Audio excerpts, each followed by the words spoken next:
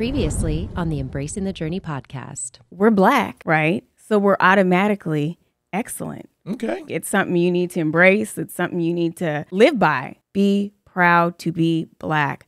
Love your skin. Continue to stand in your truth, love your skin, and stand up for yourself.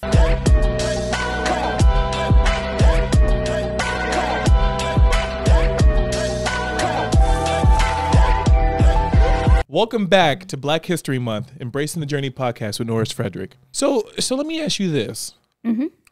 What's the difference between dating and marrying? You know, an individual. Like, are there different responsibilities? Are there different sets of rules? Like, what's that looking like for for you guys? Well, uh, duh, there are different set of rules once you're married. I mean, if there's no rules, no boundaries, then I don't know. I technically don't think it's like a marriage, even Mhm. though, you know, people have all kinds of every marriage looks different, right? Um, so and dating, I mean, you can go, okay, I'll see you later, or we've had a heated fight. I'm going home, he's going home. But when you're married, oh no, no, no Mm, you got to work that out. You cannot just you cannot just leave right. and take a couple days off and then come back. right. So there's one difference between dating and being married. Having a husband that plays a professional sport that's in the limelight, Mhm. what is that world like when it comes to women saying like, "Oh, I was with your husband last night," or "I have his phone number," or "He's messaging me"? Like, do you deal and have you dealt with any of that? No, never. Just kidding. I was in here like, my man is a saint. Ah, nope, nope, nope. I dealt. I went through it. I went through the wringer. And I know people like to kind of hold the doing kind of whatever they want to just professional athletes, but it happens every day with everybody, professional or not. Um, it just, I don't know. I think it is more for girls. It's just they, they just like to say it more and put it out there more and um, start drama more and all that kind of stuff. But how I handle things like that or situations like that, I have one instance when we were all out in a big group. There was somebody there that he used to be in a long term relationship with, and her friend, we're across the bar here, they're all the way on the other side. And she's kind of like mocking me and taunting me. And I'm like, oh, okay, I'm gonna let it go. I'm gonna let it go. And she keeps going and whatever. So she comes and approach didn't she approach you, Marcus? I think she did. And I'm like, oh, oh no. Oh hell no. The the friend did. Yes, the friend did, and I think it was on, you know, just trying to mess with me. Right, right, right. And so words Hmm. were exchanged, and um, I took off my shoe. Mm, you was wearing a heel. I was, and Why uh, am I over here instigating it? Like, yep, so so you you had heels on. I had heels on. I took off off. my heel and told her that I would whoop her ass Okay. with my shoe, Mm. and um, I got carried out. Of the of the wait, you guys were at a bar. Yeah, we were at what club was that? I cannot remember the name of the club. This happened at a club, Oh yeah. like a nightclub or like a day club. Oh, at a nightclub. I just hold on. Let me let me just paint this picture for everybody. Isn't that what you were talking about? Girls approaching? Are you talking Yeah. about just like during the day when girl? I like, mean, all of the we gonna get to all of that. so so so Jessica and Marcus are at the club, minding their own business. A woman Marcus used to be with, like a long term relationship with, was across the bar. yes, Her friend was taunting you. yes. The friend approaches you or No. approaches Marcus. Mm-hmm. You're like, uh, uh not having that. The best, the best linebacker Marcus has ever seen took the shoe off. You're like, in order to get to him, you got to get through me. Right, right. Security's over there hitting you with one of these. He, they were actually laughing. Yeah, they were laughing, and yeah, as they were like, "You've got to go." So they they they they put you out, or do they pick you up and remove you? They didn't pick me up. They were just kind. I can't I can't exactly remember, but I know I had to go. Hold on, because I I feel like I've been in this situation a few times. Mm-hmm. What was the conversation like on the way home? Was it Marcus's fault? Always. Yeah, no, I could vouch because it, it was my fault too. Always. I'm like, you were dating that girl, and because you were dating that, you know, whatever. You, it's always his fault. It's, Right. it's probably all, you know, like you said, it's always your fault. I believe it.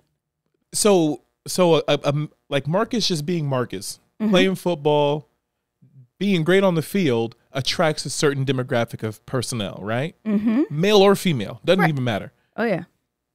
How would you expect your boyfriend or husband to be in that situation to act accordingly for your comfort?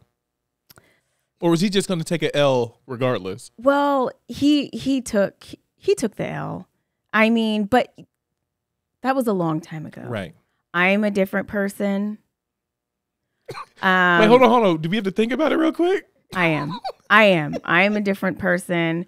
Marcus is a different person. Um, you know, he's he's not out here in those streets to where I need to possibly take my shoe off Yeah. and then get mad at him for everything.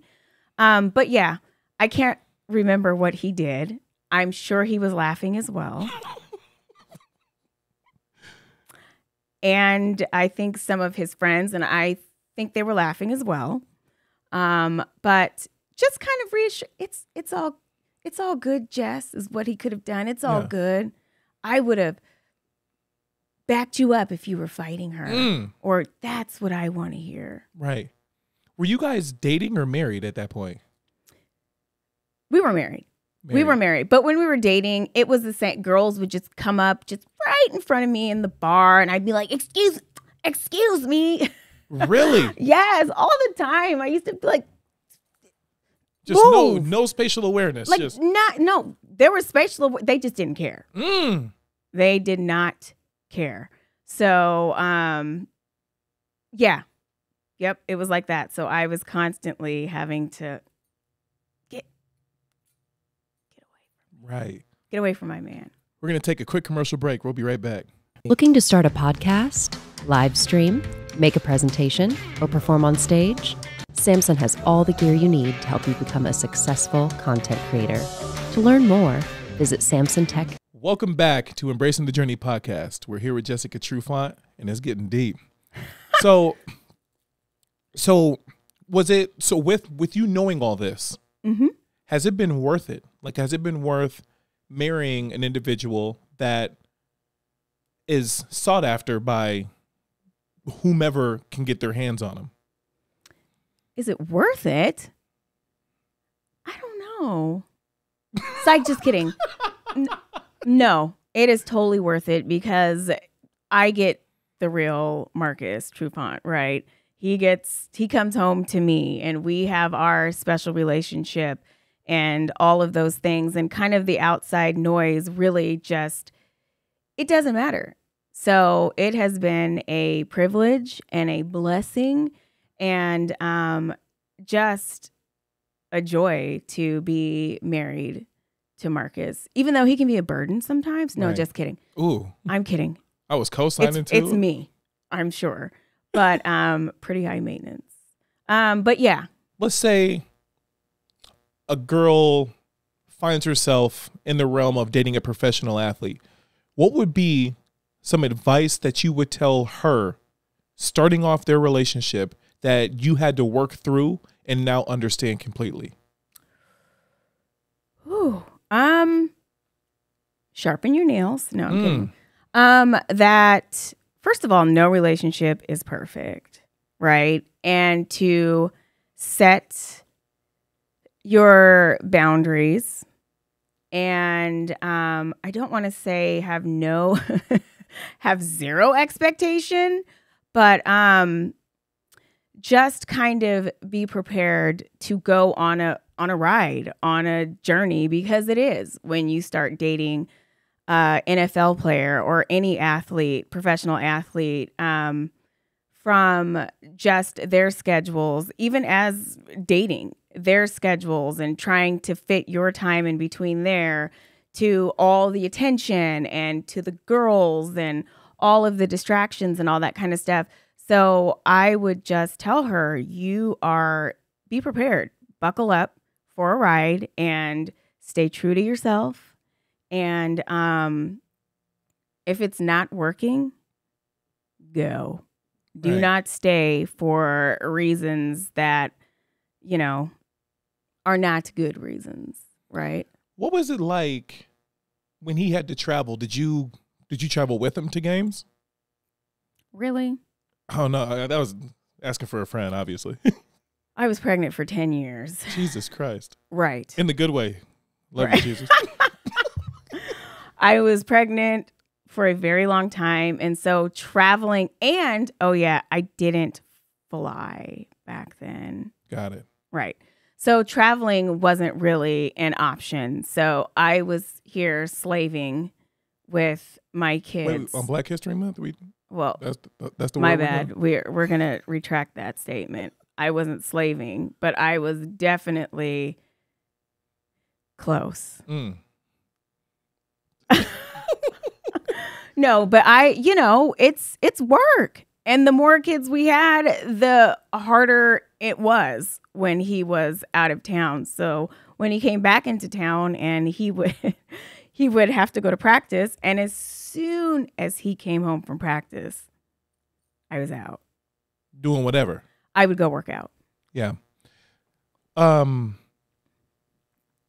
when you're watching your husband play football on Mhm. TV and he falls down and doesn't get up right away, Mhm. did you deal with that? What is that? Walk us through that and what that feels like. And, and mind you, you just said you've been pre- you were pregnant for ten years, so you you guys have a family together. Mhm. What, what what kind of thoughts would go through your head if you would see see that? Oh man. Well, I did see that on TV. I actually was hosting a breakfast for um the ladies on the team. Um and so they were all at my house and I think I can't remember where Marcus was at. I- Maybe you were in Chicago or maybe he was in Chicago, I'm not quite sure. But there was a play and he fell to the ground and he did not get up. And you know his arms are kind of back and you realize that he is knocked out. Mm. and i'm like what's going on? I'm like oh my god. So then they cut to commercial and i'm like starting to freak out because all the things go through your head Right. like oh my mm-hmm. gosh All the bad things that can possibly. Oh happen. yeah, I'm going Yeah. straight in the gutter. I'm like I'm like, "Oh my god, what am I going to do? I'm about to be a widow. I'm about, you know, Right. Right. all those things, all these different scenarios play out. And so then it comes back on, he's still on the ground. And then after commercial. Yes, then people are around him, all this kind of stuff.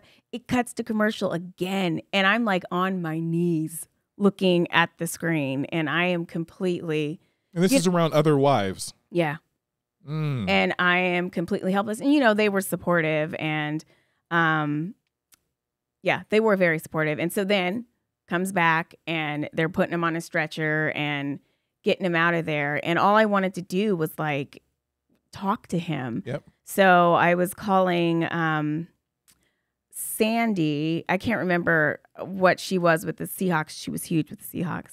Hi, Sandy. um, and she was kind of giving me the protocol and kind of reassuring once he gets to the hospital and he's stable, you know, that he will call. I talk to his mom and Next week on the Embracing the Journey podcast. I've always been true to myself. And I know some women have said they have lost themselves right. um, because of, you know, the status and all of that kind of stuff and the accolades and all the attention that their husband receives. But I never felt that way. How did you know how to vet out like an authentic person that cared about Jess and not what Jess is all encompassing?